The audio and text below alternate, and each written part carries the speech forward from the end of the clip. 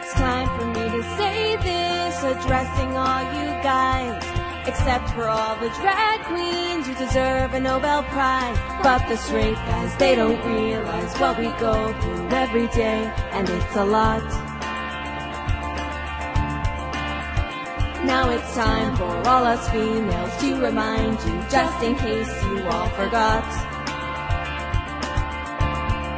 The seven things guys don't have to do.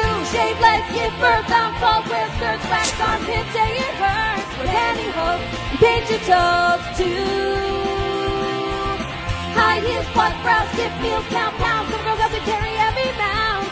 We're way past seven now, but I'll keep going anyhow. I'm Uncomfy thongs, tight bras, tampons, more money on beauty salons. Flat iron burns and health concerns from hair dye fumes.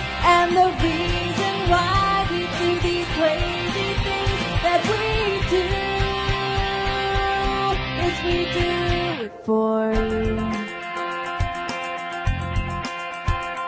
Sometimes we're hard to deal with, that we can't deny. But just think of what we go through, see that's the reason why.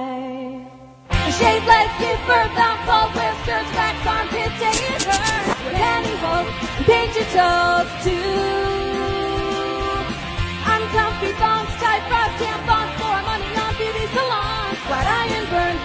concerns from fumes. And the